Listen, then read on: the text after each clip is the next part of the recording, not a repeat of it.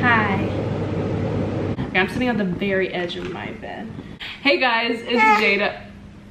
This is gonna be a long video. Hey guys. I could let you have it. You could be my heaven. You could be my woman, right? I don't want you having. Anytime I know you're living in the home. Anytime I know.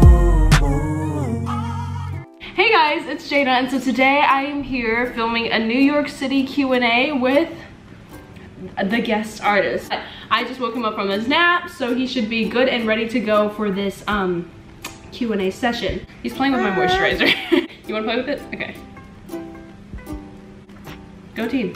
Oh, okay. Okay, cool. So what we're gonna do is answer some of you guys' most wanted questions. I don't know. Hopefully he stays in a good mood this entire video and then I'm gonna feed him after this so that he's not super cranky. First question, what are your plans while you're in New York? So currently my plan, you wanna play with this? Okay, so I plan to honestly just keep on auditioning for things and just keep networking and building my skills. Um, I'm also taking a lot of dance classes currently at BDC, so I really love that studio.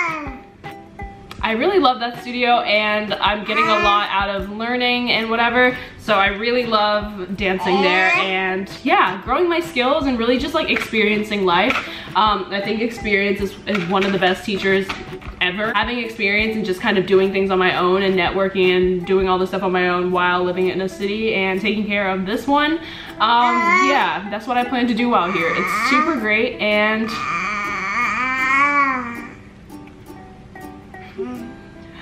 super fun.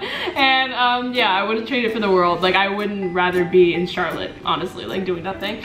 But yeah favorite thing about nyc so far? My favorite thing no we're not touching that. My favorite thing about nyc so far my favorite thing about nyc so far definitely has to be the experiences that you kind of develop. Like even if it's the relationships that you develop on the train or just like anything random i feel like just the social aspect of New York City is just the best. There's people of all kinds and you meet people everywhere. So um, no matter where you go, you're definitely bound to meet someone. I'm definitely a people person. I love being around people and um, do you need more toys?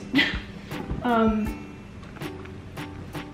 um yeah that's what i love about new york city it's the best thing uh yeah just the people and being here just makes me feel like I'm living my life, you know? So yeah. My next question is, and honestly this is like a New York City Q&A because everyone asks things about New York City, but there are some like random questions thrown in there. So we're gonna go ahead and do this. Next is what's your biggest fear? Um, I said this in my last vlog, but like I literally didn't know that I was this afraid of cockroaches. Like it's actually the worst and in New York City is the worst place to have that um, fear. I hate cockroaches. They're actually the worst things ever and I'm genuinely terrified of them. What are you looking at? and they're kind of the worst. So yeah, but other than that, my biggest fear would be not fulfilling my life and just living a really monotone, is that the word, monotone life? Yes? living a really like unfulfilling life and not inspiring people and not making it the best life that I could have made it, that would be my biggest fear. Do you have something to say? What's your biggest fear? Not being fed, not being diaper changed. Ah. What are you most proud of? Okay, obviously I think graduating early definitely was something that I'm really proud of just because like that took a lot of work. But honestly I'm most proud of the fact that like I was able to move to New York City. Obviously not by myself and not um, without the support of like friends and family and whatever but like I did it and like I'm here and like I'm thriving and I'm doing what I love to do. So I'm most proud of that for sure because it's like I did that you know? And like I'm 17 living the life it's kind of the best. So yeah. Who inspires you? I don't really have a specific answer. Let me see. As far as like social media and like things like that, all the people that I follow on my Instagram are people that inspire me on my public Instagram because those are the people that I aspire to be and aspire to work with, you know? I draw inspiration. That's why I'm very selective on who I follow on my social media just because it shows a lot about what I want to see like in the day especially. Are you waving at the bottle? What do you want? I want water. You're just...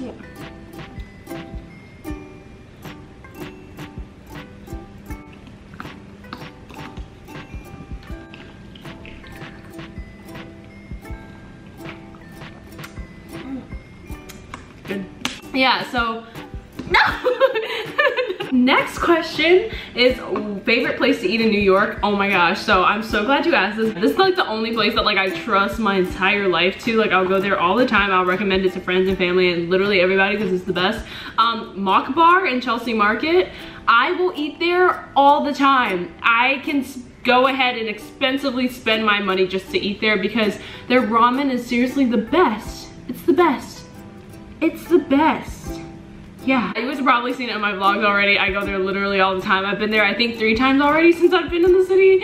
And um, it's kind of a journey to get down there. So the fact that like I am making the trip to go down there is, um, yeah fave part of the city. Um, my favorite part of the city also has to be like the Chelsea Market area and like I really like Washington Square Park area. Um, anywhere in Midtown honestly just because it's really just nice and lively. I mean I like my area too but like I wouldn't avidly stay up here as opposed to going to Midtown. What is this shirt doing? I don't know, but like my skin just so bad with transitioning and all that stuff, like when I'm in a new place and all that stuff. So, um, I've been breaking out so bad, you guys might not be able to tell because this camera just does me justice, but like I've just like had breakouts everywhere and like I'm doing the best. My, my skin can recover pretty quickly, so that's why it's not as bad right now. But yeah, I don't like how the city is just so disgusting and makes my skin disgusting. What is my least favorite thing about New York City? The least favorite thing is the dirty air and um, the dirt E. Just the dirty. It's dirty, isn't it? Yeah, it's it's really dirty. Um, there's trash everywhere. Um, city to live, best city on the planet Earth. Yeah. Um, um, the next question is, are people in New York really as rude as people say they are? Yeah, I feel like there's always gonna be people like just negative, you know? I'm trying to be in the frame, so I'm like leaning back, but I'm about to fall back asswards onto the floor. Um, why are you putting my pants in your mouth? I don't know. I feel like there's always gonna be rude people, but at the end of the day, people in New York City are honestly some of the nicest people in the world. Um, I think you can easily connect with people anywhere and you can just start talking to people like anywhere and they'll start talking to you and it's really, really nice. I like the feeling of feeling like I have a family and like people that I can talk to even when I feel lonely in the city. But um, yeah, I can always find people to talk to, hang out with, and all that stuff. And that's what that's another part of why I love the city so much. So yeah. But no, people are not as rude as they say they are in New York City. And my friends can attest to this. I met them at Mokbar. They're the Berlin boys. And they um they were like, no, people in New York City are actually really nice. And they're from Berlin. So if they say it, it's true. Um, how is it living in New York? Are you happy? Um, Yeah. How, how is it taking care of you? How do you think? Do you think you're easy to take care of? Silence. Now you're silent. Now you choose to be silent. Hmm. Yeah, no, but I love living here. I love the family that I live with. They're the best. It's, it's, it's, um, what?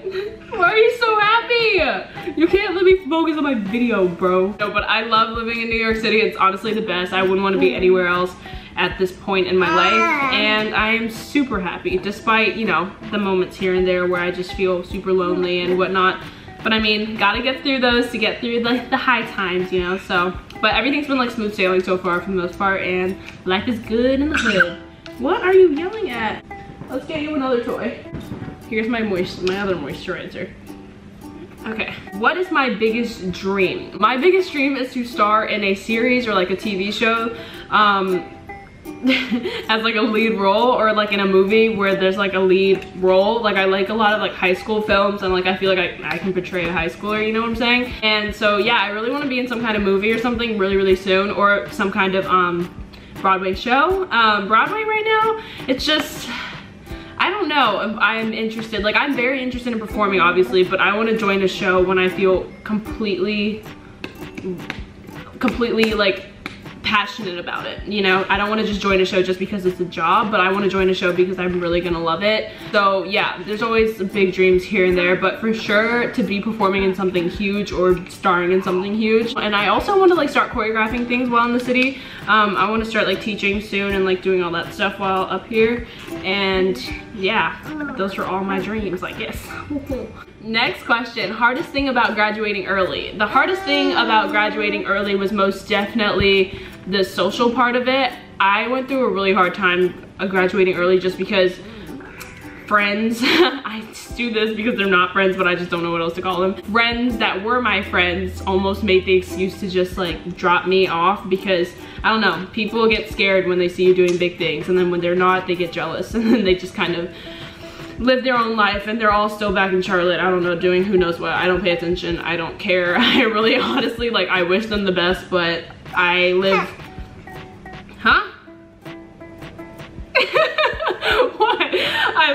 such a great life now and like this is my reality and I just would not want to trade it for the world, you know? So that was such a hard part, but I did have to get through that hard part of just dropping everyone off because honestly, it would be so hard to hold on to all these like pointless, what? It would be so hard to hold on to all these pointless relationships back in Charlotte and I could just make new friends and do new things, you know, while in the city. Yeah, that was the hardest part for sure. The work it was easy to kind of graduate from high school if I'm not gonna lie. So again, if it was that easy, my friends could have just on, the people who were just like hating could have done it too, but they just didn't choose to and that's their freaking problem, not mine. Next question is how is pre-adult life? Um, if I'm gonna be honest, I feel like I'm already like in adult life, um, even though I'm 17, like I'm doing so many things on my own and I don't know, like living my life, I guess. So like I, and there's a lot of adults that are my age and older who I don't consider adults because they just don't do things for themselves, if that makes any sense. Yeah, I feel pretty independent and pre-adult life is going really great and um, smooth sailing thus far since I don't have to pay rent while up here. It's um, actually really, really nice. Next question says, did you ever think about quitting YouTube? Um, okay, no. I never thought about quitting YouTube long term. I always thought about taking breaks and like I've done that in the past. I've never ever thought about quitting YouTube because it's just such a passion of mine and I enjoy filmmaking and content creating so freaking much. So I would never trade that for the world and I will always, always go back to um, creating something. If I ever get into dark places, I feel like creating something and filming things are always something to just get me out of what I'm going through. Never thought about quitting because YouTube is honestly one of the best parts of my life and I love it so much.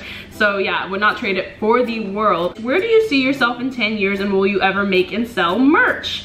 Um, I see myself in 10 years living a good life. Like I don't like to plan things super like full out like two years ago I thought I would have a family in 10 years you know what I'm saying but like now things have changed um so I don't know. I don't know where my career is gonna go and I don't have any, I feel like planning my life to the T is just not a smart idea as opposed to just living the life that I live and just getting there when I get there. And I think that's a smart mentality to have in like a hustle bustle city like New York City. So um, yeah, seeing myself in 10 years, I honestly don't know where I could be. Like I could be in a million different places because I just, I, I don't know, there's so many different options and um, um, variations that could occur. So I have no clue. I see myself being very successful and very financially comfortable and being able to support my family. And yeah, that's good.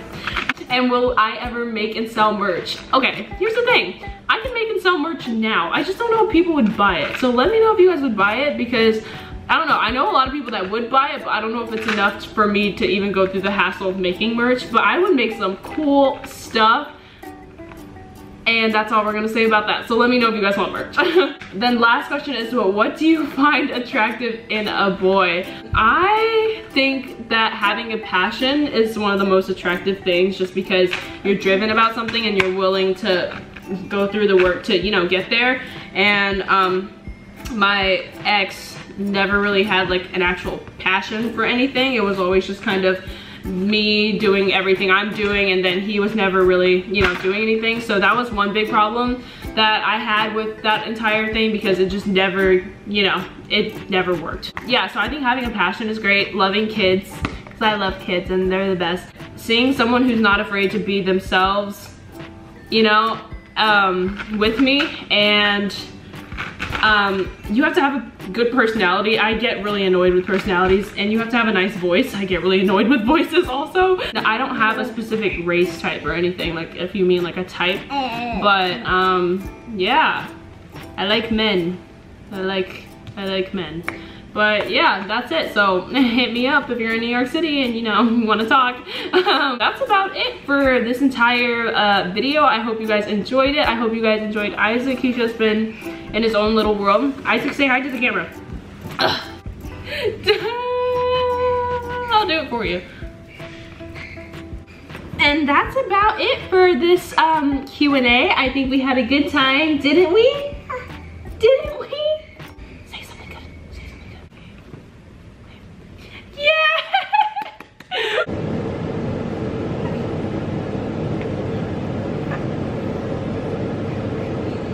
what are you waiting to? Bye. Ah. Bye. Bye. I just wanna, I just wanna, I just wanna throw my hands. I just wanna mic with a stand. I just wanna, I just, I just wanna catch one glance. I just wanna see you dance, girl. I just wanna,